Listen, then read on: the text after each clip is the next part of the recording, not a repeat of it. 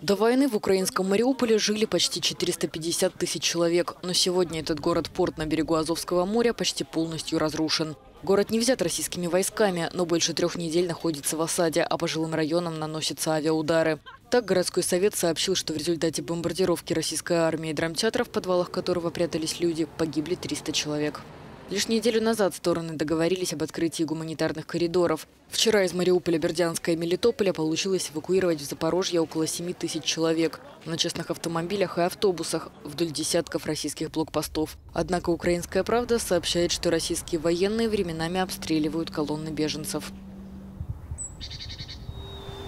При этом агентство Рейтер со ссылкой на британскую разведку утверждает, что украинцы отбросили россиян на 35 километров к востоку от Киева и постепенно возвращают контроль над населенными пунктами. Аналитики рассказывают о проблемах со снабжением российской армии и низком боевом духе солдат.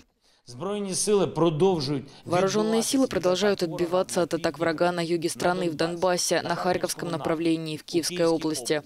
Сдерживая российские действия, наши защитники и защитницы подводят руководство России к простому и логичному мнению. Нужно говорить. Говорить содержательно, срочно, честно и ради результата, а не ради того, чтобы тянуть время.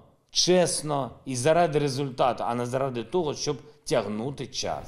Между тем в Москве заявляют об успехах. В целом, основные задачи первого этапа операции выполнены. Существенно снижен боевой потенциал вооруженных сил Украины.